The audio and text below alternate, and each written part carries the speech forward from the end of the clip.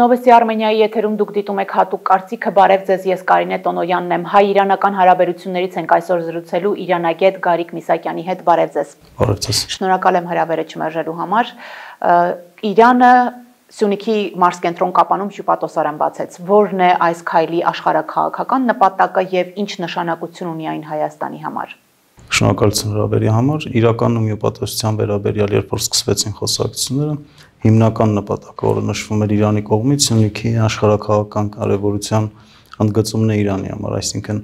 մի քանի նպատակներ է հետևում նախ ադրբեջանա-թուրքական այս դաշինքի ցանվալապաշտական քաղաքականության պայմաններում Իրանը իր կարմիր գծերը երբ որ նախանշեց, նաև Սյունիքում քաղաքական ներկայություն ունենալու ցանկություն հայտնեց, որով ցույց է տալիս նաև քաղաքական կարևորությունը Սյունիքի համար իսկ Ամիր Աբդոլլահյանը Իրանի արտաքին գործերի նախարարը Հայաստան այցելելուց առաջ իր մի քանի արծազրույցներում հստակ նշեց, որ նաև նպատակներից մեկը տնտեսական հարաբերությունների զարգացումն է եւ Իրանի տնտեսական ներկայության ապահովումը Սյունիքի տարածքում սրանով էլ Իրանը նաև անվտանգային խնդիր է լուծում իր համար նախ հայ-իրանական սահմանի հետ կապված այդ խնդիրներին հետևելու համար, երկրորդը երբ որ Սյունիքում նաև զգայուն հատվածներում տնտեսական ներկայություն ունենա, նաև այս դիվանագիտական ներկայացության միջոցով իր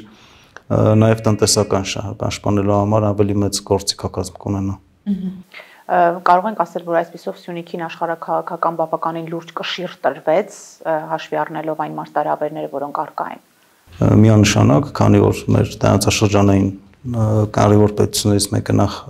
ներկայություն ունի արդեն դիվանագիտական եւ մի քանի կիլոմետր հեռավորության վրա Ադրբեջանի կողմից գրաված հատվածներում նաև Սյունիքի կարևորությունը Արցախյան վերջին պատերազմից հետո բավականին մեծացել է։ Մենք բացի Իրանից տեսանք մի քանի պետությունների դեսպանների հաճախակի այցեր Սյունիք հիմնական նաև թեմաներից մեկը, կռվախնձորներից մեկը Զանգեզուրի միջանցքային Սյունիքի հատվածով է անցնում եւ նաև Իրանի հայտարարված բոլոր կարմիր գծերը տարածաշրջանի վերաբերյալ նույնպես Սյունիքի տարածքով են անցնում, այսինքն բավական մեծ աշխարհակաղակական կարևորություն է ձեռք բերել նաև մեր համար, նաև Իրանի համար։ Մենք հիշում ենք Իրանի գլխավոր հյուպատոսի ուղերձը Կապանի ժողովրդին խորհուրդ կտամ չան հանգստանալ, մենք այստեղ ենք հայ ժողովրդի համար։ Ինչ կտա Հայաստանին շոշափելի, հա, հողի վրա իրականում այս ուղերձը եւ հայկական լսաններ ուղված եւ արտաքին լսաննի դեմս Ադրբեջանի եւ Թուրքիայի Իրանում իրականում հասկանում են որ Արցախյան պատերազմից հետո նախ անվտանգային խնդիրները Հայաստանի բավականին մեծացել են, երկրորդը Հայաստանում նաև հանրային տիրույթում դաշնակցի նաև բաց են նկատվում, քանի որ որոշ դժգոհություններ հայկական հասարակության շրջանում կան եւ Իրանը փորձում է խաղալ այդ դաշնակցի դերը, նաև իր սեփական շահերից ելնելով, իսկ մեսիջը ուղված արտաքին լսանին այն էր, որ Իրանը նաև Սյունիքի անվտանգությունը կարող է ապահովել անհրաժեշտության դեպքում, եթե նորից տեղափոխվեն կարմիր գծերի խնդրին, եթե Իրանի կարմիր գծերը խախտվեն, որոնց մասին բազմաթիվ անգամ նշվում էր, եւ դա հիմնականում վերաբերում է իրանական ցամաքային սահմանի հատվածին, ապա Իրանը կարող է միջամտել այս հայտարարությունը նույնպես տեղավորվում է այդ ձևաչափում, երբ անվտանգությունը ապահովելու մասին հայտարարությամբ հյուպատոսը նշում է, որ Իրանը կարող է եւ միջամտել որոշակի ձևաչափով։ Իսկ ինչ միջամտության մասին է խոսքը կոնկրետ ռազմական եւ սա կարող է լինել առանց Հայաստանի թույլտվության եթե հայտարարություններից եզրակացնենք եւ քաղաքական ղեկավարության եւ ռազմական, ապա ռազմական միջամտություն հնարավոր է, եթե գործողություններ իրականացվեն անմիջականորեն հայ-իրանական սահմանին, սա հստակ նշվեց։ Բայց Իրանի բարագայում մշտապես փորձում են դիվանագիտական խնդիրներով լուծել, միջոցներով լուծել հարցը, այսինքն mm -hmm միշտ ռազմական ուժի ցուցադրմամբ եւ նաեւ սպառնալիքներով փորձում են կանխել եւ իրականում իրանական կողմում ստացվել է կանխել հենց անմիջական Սյունիքի հարավային հատվածի Իրան-Հայաստան սահմանի վրա որևէ ռազմական գործողություն։ Կարծում եմ հենց Իրանի հայտարարությունների հետ է կանխված այն, որ Ալիևը կամ թուրք-ադրբեջանական այդ դաշինքը երբեք սահմանային հատվածում սադրանքների չի դիմել։ Հիմնականում Իրանի հայտարարությունից հետո փորձեն հյուսիսից Վարդենիսի շրջանից, Ջերմուկի շրջանից կտրել Սյունիքը կամ ինչ որ նպատակներ լուծել, բայց իրանական կողմը նաև սկսել է անդրադառնալ սրան։ Նույնիսկ հանրային իրանց պետական առողջանկերության Իրանի եթերում հնչեցվեցին մի քանի փորձագիտական կարծիքներ, որ Ադրբեջանը հասկանալով, որ Իրանը միջամտելու է սահմանային հատվածում, փորձում է հյուսիսից խնդիրը լուծել որպիսի Իրանի միջամտությունից էլ խուսափի։ Եվ հենց նաև դրա հետ էր կապված այս ներկայացության բավականին արագ բացումը, չա գրեթե չհայտարարված այցը Հայաստան, այսինքն Սյունիքի Իրանի սահմանից հեռվում կած հատվածներն էլ Իրանի ուշադրության կենտրոնում են հիմա։ Ես ուզում եմ մեջբերել Իրանի արտգործնախարարի հայտարարությունը, որ տարածաշրջանում իրականացվել է շատ վտանգավոր սցենար, ըստ որի պիտի փոխվեր տարածաշրջանի աշխարհակաղակականությունը, նույնիսկ ջանքեր են գործադրվել կտրել Իրանի եւ Հայաստանի միջև կապի հնագույն ճանապարհը, սակայն Իրանը դա թույլ չի տվել։ Այսինքն Իրանը կանխել է հնարավոր վատագույն սցենարը, ինչ գործողությամբ զորքերի ներկայությամբ սահմանի զորավարժություններով, հա, իրականում չի բացել Բաղագծերը Աբդուլլահյանը իր այդ հերոստատեսային արծազրույցի ժամանակ, բայց բաց գրեթե բաց տեքստով ասել է որ Ադրբեջանին զգուշացրել են կամ որևէ կանխել են Սյունիքի հատվածի կտրումը Իրանից դա կարող է եղած լինել նախորդ տարվա ընթացքում տեղ ունեցած մեծ զորավարժությունների ժամանակ, երբ Իրանը գրեթե պաշտոնապես Դրա պատճառներից մեկը հայտարարեց, որ թուրք ադրբեջանական դաշինքի կողմից մտադրությունը եղել մտնել Սյունիք, կարող է լինել վերջին ադրբեջանական սանդրանքը ջերմուկի հատվածում, որը նույնպես երևի թե նպատակ ուներ Սյունիքի հյուսիսից կտրելու։ Նաև վերջին զորավարժությունները Իրանի, երբ որ հայտարարությունների հիմնական հատվածում խոսվում էր, որ սահմանների փոփոխության դեպքում Իրանը կարող է միջամտել մի քանի տարբերակ կարող է լինել, բայց գրեթե բացահայտ հայտարարում է, որ Իրանը միջամտել է արդեն այս Սյունիքի հատվածի կամ այսպես կոչված Զանգեզուրի միջանցքի խնդրին։ Նաև այդ նույն հայտարարության մեջ նշվեց, որ երբեք կամ Իրանը որևէ կերպ թույլ չի տալու Զանգեզուրի միջանցքի գործարկում, այսինքն ավելի կոշտ տրվեց հայտա Իրանի կարմիր գծերը Աբդուլլահյանի կողմից Երևանում եւ մեր համար էր հասցեագրված դա եւ նաեւ Ադրբեջանի համար էր Եվ անպայման պետք է հիշենք, որ առաջին անգամ մենք տեսանք Արաքս կետի վրայով ռազմական լողացող կամուրջներ էին տեղադրվել, որոնք տեղափոխում էին զրահատեխնիկա, ցուցադրական փորձարկում էր սա ապագայի հնարավոր բացասական շրջադարձերը կանխելուն ուղված ու նաև ցուցադրական ուժի ցուցադրություն հա Ադրբեջանին հետաքրքիր էր նաև դուք եք ձեր Facebook-յան էջում այդ կոդավորված մեսեջների մասին խոսել հիմա կուզեմ բացենք փակագծերը Ղուրանից մեջբերում կար մենք ձեր համար ճեղքեցինք այն ծովը եւ փրկեցինք ձեզ, կործանեցինք փարավոնի տողմը, մինչդեռ դուք միայն հետևում էիք դրան։ Կխնդրեմ մեկնաբանենք Ադրբեջանը այս թեմայով վայնասուներ բարձրացրել։ Իրականում վերջին զորավարժությունները ԻՀՊԿ բազմաթիվ ուղերձներ էին պարունակում իրենց մեջ, հիմնականում ուղղված Ադրբեջանին եւ Թուրքիային, նաեւ մյուս պետություններին։ Գլխավոր ուղերձներից մեկը հենց ԻՀՊԿ ներկայությունն էր, որը սահմաններից դուրս ռազմական գործողությունների պատասխանատուն է իրանական ռազմական համակարգում, նաև այն բոլոր վարժանքները, որոնք իրականացվեցին, բացի Արաքս գետի վրա լողացող ռազմական կամուրջների կառուցումից, որը հստակ մեսիջ էր Ադրբեջանին, եղան բազմաթիվ արձակողական բնույթի վարժանքների փորձարկումներ, ԱԹՍ-ների փորձարկումներ, որոնք գրեթե բոլորը միտված էին քաղաքներ, բարձունքներ եւ հաղորդակցության ուղիներ գրավելու վարժան գրավելու գործընթացը զարգացնելու համար։ Ղուրանական մեջբերումները ինչ են արվում նախ տեսահոլովակում ցույց էր տրվում Խոդանաֆարինի կամուրջը, այսինքն հստակ տրվում էր ուղությունը որ կողմ կարող է անցնել Իրանը, նաև դեպի Ադրբեջան, նաև իր քաղաքական բնույթը պետության իսլամական լինելը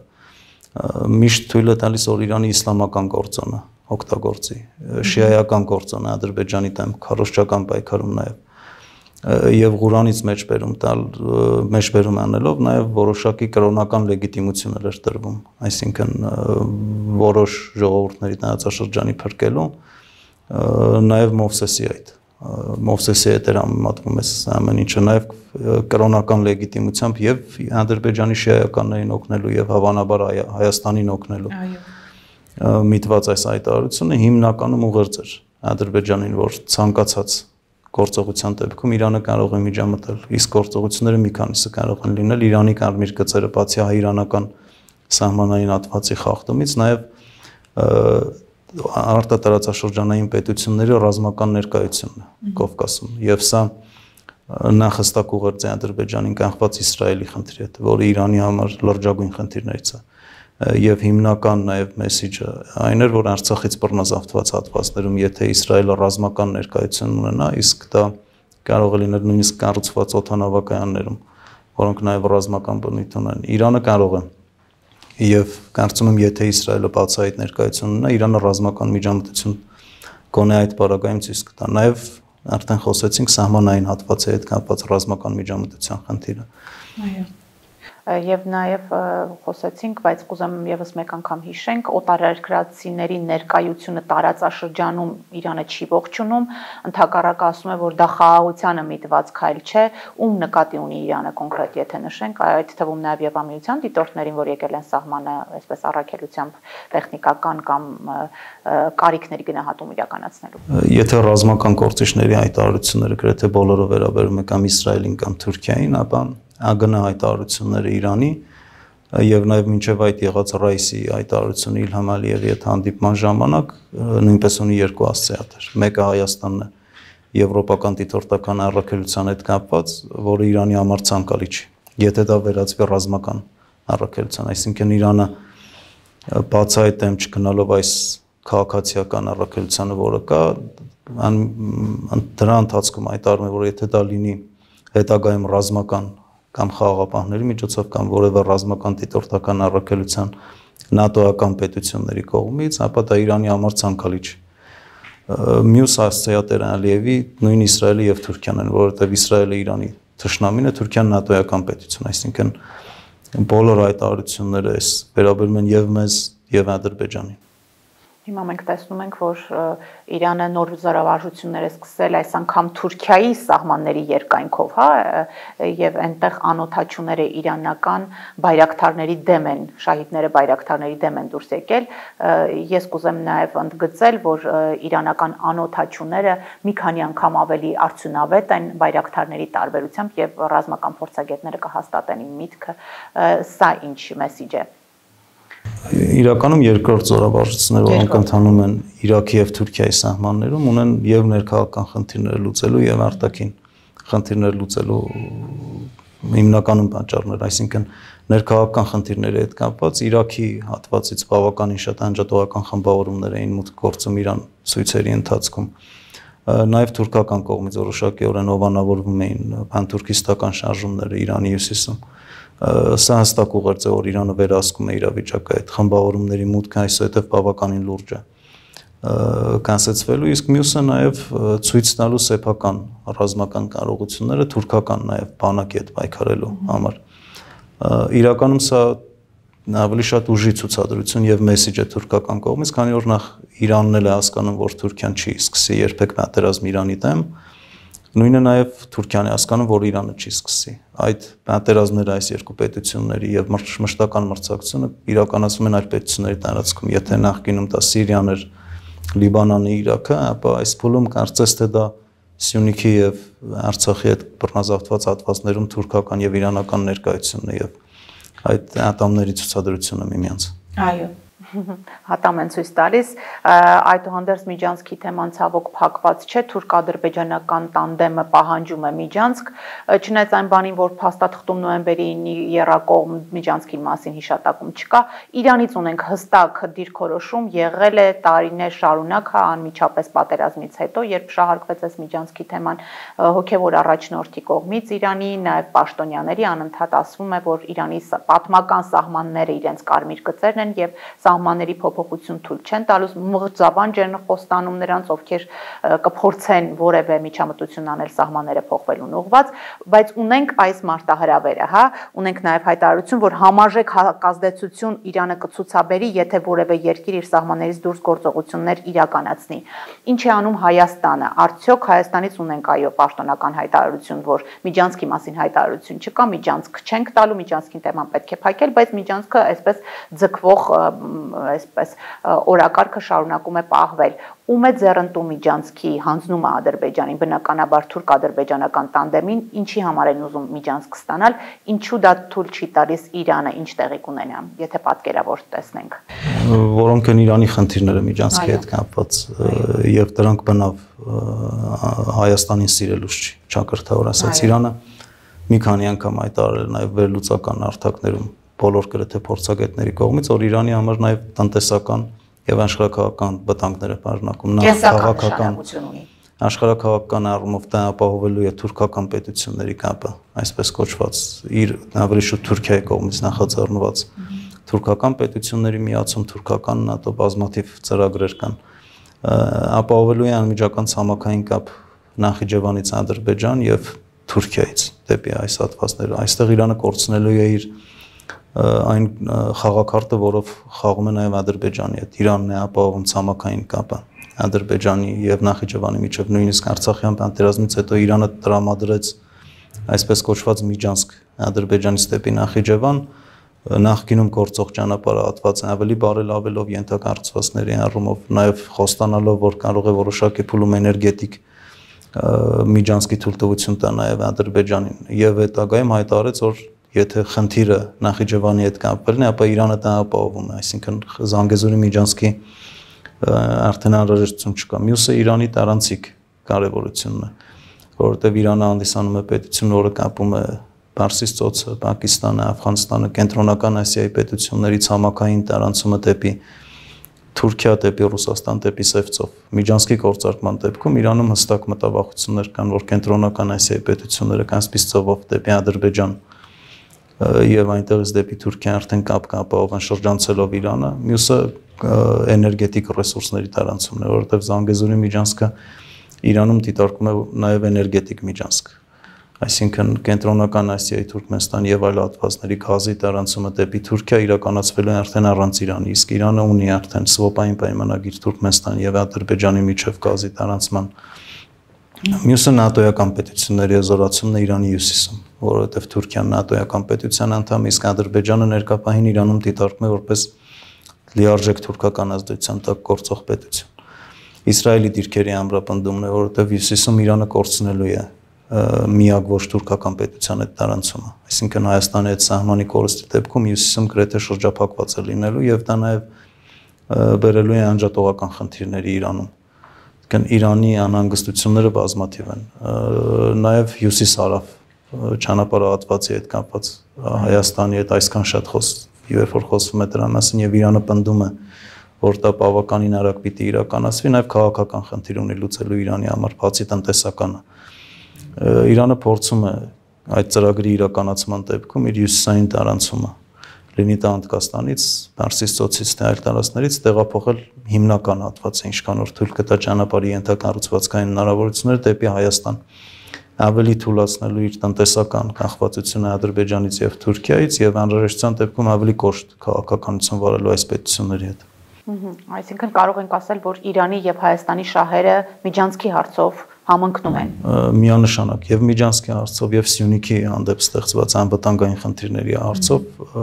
բազմաթիվ հատվածներում համընկնում են եւ դա այն հիմնական խաղակարգն է, որը կարող է Հայաստանը օգտագործել։ Եթե նախկինում մինչ Արցախյան պատերազմական ժամանակահատվածում Իրանը այդքան ակտիվ չէր, քանի որ վտանգ չէր զգում Կովկասից, ապա այս փուլում վերջին մի երկու տարվա ընթացքում Իրանը նաև բավական նախաձեռնողական է, որովհետև հստակ վտանգներ է զգում հարավային Կովկասից եւ նաև զգում է, որ Արցախյան պատերազմից հետո գրեթե իր դիրքերը կորցրել է նախ Ադրբեջանում, նաև Հայաստանի թուլացման դեպքում Իրանը կորցնելու է միակ պետությունը գրեթե հարավային Կովկասում, որը Իրանի հանդեպ ունի դրական, նաև դաշնակցային կարելի է ասել մտայնություն եւ նաև կարծում եմ Հայաստանը այլ ընտրանք էլ չունի։ Երկու փակ սահման ունենք Վրաստանի բարագային պատերազմի ժամանակ տեսանք ինչ կատարվեց հայ-վրացական սահմանում, մեր միակ նաև պետությունը, հարևան պետությունը, որը Հայաստանի հետ դաշնակցային հարաբերությունների ցանկությունն ունի Իրանն է։ Այդ դեպքում ինչպես են աշխատում Հայաստանի Հանրապետության իշխանությունները Իրանի հետ, եթե փորձենք գնահատելու լինենք, արդյոք չօգտագործված հնարավորություններ տեսնում եք։ Հայ-իրանական հարաբերություններում գրեթե միշտ են եղել չօգտագործված հնարավորություններ, երկար տարիներ խոսվել է տնտեսական հարաբերությունների զարգացումից հետ Արցախյան պատերազմ, վերջին պատերազմից հետո կա ժամանակահատվածում բազմաթիվ հայտարարություններ տեսանք, փոխայցելություններ, յուսիս հարավի շինարարության վերաբերյալ հայտարարություններ մշտապես հնչում է, որ պիտի որքան նորը շատ շուտ բարելավի այդ հարաբերությունները, բոլոր ոլորտներում պիտի բարելավի բայց նաև հիշում ենք օրինակ Իրանի դժգոհությունները որոշակի առումով, երբ Հայաստանի խորհրդարանի ղեկավարի Իրանում էր Ղալիբաֆը Իրանի մեջլիսի նախագահ հայտարարեց, որ կան բյուրոկրատիկ խնդիրներ, որոնք դանդաղեցնում են գործընթացը։ Այսինքն կան հայտարարություններ, բայց գործողություններ չեն իրականացվում։ Այս հայտարարությունները կան հայտարարություններ եւ կան գործողություններ, որոնք չեն իրականացվում կամ տեսանելի չէ ամենայն դեպս դրանց իրականացումը։ Հյուսիս հարավի շինարարությունը որպես օրինակ բավականին երկար է խոսվում ծրագրի հետ կապված եւ խոսվում է որ մեկնարկելու է բավականին շուտ բայց դեռևս չի մեկնարկել եւ նաեւ խնդիրը հենց մեկնարկելը չի խնդիրը ժամանակահատվածն է նաեւ որովհետեւ խոսվում է որ մոտորապես 5 տարի կարող է անհրաժեշտ լինել շինարարությունն ավարտին հասցնելու համար ինչը նաև Իրանի համար բավականին երկար է, նույնիսկ Իրանի համար բավականին երկար ժամանակահատված է եւ Իրանը ցանկություն ունի ամենայն դեպս հնարավորությունների դեպքում, եթե ներգրավի գործընթացում 3 տարվա մեջ կոնե ավարտի։ Եվ նաև այդ հարաբերությունների զարգացման արագությունից կա որոշակի դժգոհություն Իրանում բայց նաև որոշակի ներկայություն տրվել է Իրանին, այսինքն կոնե հայտարարությունների մակարդակում, փոխայցելությունների մակարդակում, առևտրական շրջանառության որոշակի աճ է նաև նկատվել դրական միտումներ կան բայց հաշվի առնելով աշխարհակահական ներկա իրավիճակը ինչը մեր համար ձևավորվել է ցանկալի կլինի շատ ավելի արագ այդ ամեն ինչը զարգանան Այո, որովհետև Իրանի արտգործնախարարն էլ շեշտեց, որ ապրանքաշրջանառությունը առաջին փուլով հասցնենք 1 միլիարդ դոլարի, երկրորդով 3 միլիարդ, այսինքն պոտենցիալ կա, որպեսի դա իրագործվի, ինչ արագությամբ դա կարվի, սա երկրորդ հարցն է արդեն, պիտի ապրենք, որ տեսնենք։ Նաև ունենք Թավրիզում Հայաստանը ասաց, որ հյուպատոսարան կբաց կբացի, կբացվի, երբ կբացվի, սրանք էլ հարցեր են, որ դանդաղում են, այսինքն ընդհանուր տպավորությունը, որ կան հնարավորություններ, Իրանը շահագրգիռ է, բայց Հայաստանը չի գործում համարժեք արագությամբ, հա։ Հիմա ինչ գործողություններ են միաժամանակ նկատվում։ Եթե Իրանը մեր բարեկամ երկիրն է եւ Իրանի հետ մեր շահերը համընկնում են, միևնույն ժամանակ տեսնում ենք Հայաստանի իշխանությունները դիմավորում են արդեն երկրորդ ԱՄՆ կոնգրեսականների խմբին, հա, հիշում ենք այսպես այդ սկանդալային հայտարարությունը Նենսի Փելոսի այցի ժամանակ ժամանակ, երբ ավարայրի ճակատամարտի այսպես նկարի արչև կանգնած հարցազրույց էին տալիս որտեղ պարսիկները քրիստոնյաների վրա կռիվ են տալիս եւ այլն ուր կտանի այս ճանապարհը կարող է պատահել այնպես որ իսկապես Իրանի համար ոչ բարեկամ երկիր դառնա Հայաստանը որ դեպքում սկսենք Թավրիզի հյուպատոսության թեմայից իրականում բավականին կարևոր խնդիր է Թավրիզի հյուպատոսարանը եւ նախկինում էլ մի քանի անգամ խոսվում էր դրա մասին եթե փոխադարձ սկզբունքով բացվի այդ հպատոսությունը, նաև Հայաստանին հնարավորություն կտա քաղաքական ներկայություն ունենալ Իրանի հյուսիսային հատվածներում, որտեղ բավական ակտիվ են պանթուրքիստական խմբավորումները եւ նաեւ մեր անվտանգային շահերից է փոխում նաեւ Իրանի տարածքում դրանց դեմ պայքարելը։ Եվ կարծում եմ Իրանն էլ կոժանդակի Հայաստանին այդ պայքարում, քանի որ ինքն էլ խնդիր ունի լուծելու մյուսը ԱՄՆ ներկայությունը Հայաստանում։ Իրականում Իրանը քանի որ ներկայային ինքն էլ կարիք ունի Հայաստանի հետ հարաբերությունների զարգացման եւ իր նախաձեռնողականությամբ նաեւ եւ նաեւ հաշվի առնելով Հայաստանի իրավիճակը, երբ այդքան էլ շատ ընտրություններ չունի Հայաստանը գործընկերների, բավակ չակերտավոր ասած որոշակի առումով նաեւ ստիպում է Հայաստանին համագործակցել, որովհետեւ բավական նախաձեռնողական է եւ նաեւ հասկանում է, որ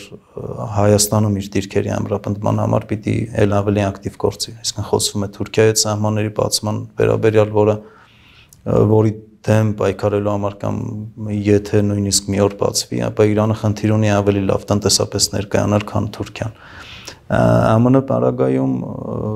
եթե նախկին տարիների մասին խոսենք, Հայաստանը կարողացել է համադրել Իրանի հետ շատ լավ հարաբերությունները, ԱՄՆ-ի հետ էլ նորմալ հարաբերությունների հետ, այսինքն այդ պետություններին հասկացվել է, որ մենք երկուսի կարիքն ունենք։ Այս բaragայում Փելոսի այցի ժամանակ եղան այդ անցանկալի մեսիջները դեպի Իրան, հավանաբար ԱՄՆ կողմից կազմակերպված, բայց Իրանում դրան արձագանքեցին փորձագիտական հատվածների միջոցով, խուսափելով քաղաքական նաև պատասխանից նախ այդքան էլ կարևոր չհամարելով Փելոսի այցը Հայաստան, որովհետև ԱՄՆ-ն բավականին հեռու է տարածաշրջանից, որպեսզի կարողանա անմիջականորեն խնդիրներ լուծել նույնիսկ սահմանային հատվածում երկրորդը իրանցիները փորձում են ներկապային տնտեսական եւ քաղաքական բարեկամությամբ Հայաստանի հետ իրենց շահը առաջ տանել նաև տարածաշրջանը, որը համընկնում է Հայաստանի հետ այս փուլում։ Եթե որոշակի փուլում Հայաստանը փորձի ստվերել հայ-իրանական հարաբերությունները ԱՄՆ հետ հարաբերություններով կամ նույն միջանցքի տրամադրմամբ կամ այլ խնդիրներով կամ այլ փաթեթավորմամբ, ապա Իրանում կարծում եմ տեղի կունենա Կովկասում հստակ քաղաքականության փոփոխություն, որովհետև Ադրբեջանի պարագայում արդեն փոխվել է, Իրանում եթե նախկինում կար անկողմնակալ քաղաքականություն Կովկասում, ապա այս բան խոսվում է դաշնակից պետություն ընտրելու վերաբերյալ Իրանում եւ դա հստակ ընտրվել է Հայաստանը Ադրբեջանը դառնալու է Իրանի համար ուղղակի հարևան պետություն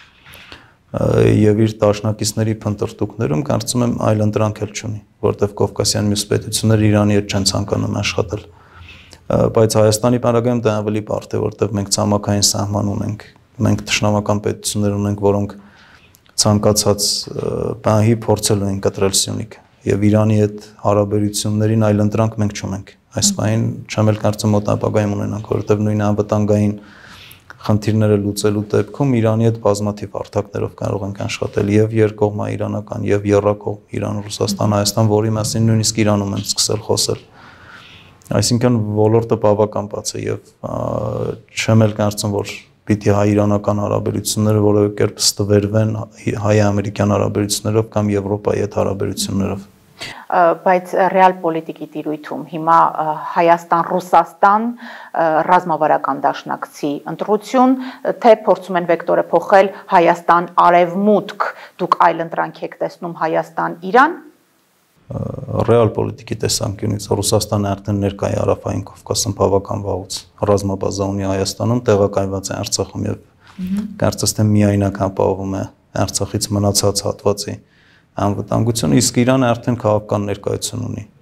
Սյունիքում էլ, Երևանում էլ եւ տնտեսական բավականին լուրջ հարաբերությունների ցանկություն, անվտանգային հարաբերությունների զարգացման ցանկություն, հյուպատոսի խոսքերից ելնելով նաեւ ռազմական համագործակցության ցանկություն եւ ռեալ պոլիտիկի տեսանկյունից բավական առաջ է անցած կան Եվրամիությունը կամ ԱՄՆ-ն, այսինքն Իրանը իր խնդիրները լուծում։ Իրան, Ռուսաստան, Հայաստան համագործակցության ավելի իրատեսական հնարավորություն ենք տեսնում արկա մարտահրավերների իրատեսականը եւ Հայաստան-Իրան համագործակցությունը եւ Իրան-Ռուսաստան Հայաստան համագործակցությունը Իրանը միշտ եւ երկկողմ հարաբերությունների կողմնակից է եւ երրակողմ կամ բազմակողմ քանի որ Իրանում հասկանում են նախ որ ռուսական ազդեցությունը Կովկասում բավականին մեծ է եւ այդ ազդեցության դեմ պայքարել պետք չի, այլ համագործակցել եւ Իրանը փորձելու է եւ երկկողմ ձևաչափով առավելագույն կերպով զարգացնել Հայաստանի հետ հարաբերությունները եւ երրակողմ ձևաչափով Ռուսաստանին էլ ներգրավելով նաեւ այն պատճառով, որ Ռուսաստանը չխանգարի Իրանին անհրաժեշտության դեպքում։ Շատ լավ եւ որպես ամփոփում, որը պետք է լինի Հայաստանի Հանրապետության ապագային մի, մի տված տեսլականը առաջիկայում անելիք։ Եթե հայ-իրանական հարաբերություններից խոսենք, որովհետև Հայաստանի ապագայի տեսլականը բավականին բարդ է այս փուլում։ Հայ-իրանական հարաբերությունների տեսանկյունից դա հստակ նշվում է հայտարարություններով ամենայն դեպս բոլոր ոլորտներում հարաբերությունների զարգացում, բայց իրականում պիտի իրականացվի բոլոր ոլորտներում հարաբերությունների զարգացում, որովհետև նաև մեր շահերից է բխում Իրանի հետ հարաբերությունների զարգացման մակարդակի բարելավումը, հասցնել այն փուլի, որ Իրանը առավելագույն կերպով շահագրգռված լինի Հայաստանի հետ իր եւ ցամաքային սահմանը պահելու եւ իր ներդրումները Սյունիքում կամ այլ հատվածներում Հայաստանի պաշտպանելու, այսինքն այդ տնտեսական եւ քաղաքական համագործակցությունն Իրանի հետ պիտի բարձրացվի այն մակարդակին, որ մենք էլ կարողանանք Իրանի դիվանագիտական հնարավորությունները օգտագործել, այսինքն Իրանի համար ստեղծել մի իրավիճակ, որ իր շահերից բխի Հայաստանի խնդիրների լուծմանը օժանդակել դիվանագիտական ճանապարհով։ Շնորհակալ եմ։ Ձեզ շնորհակալություն։ Հիշեցնեմ, մենք զրուցում էինք Իրանագետ Գարիկ Միսակյանի հետ, դուք դիտում էիք հատուկ կարծիքը, կհանդիպենք։ Thank you.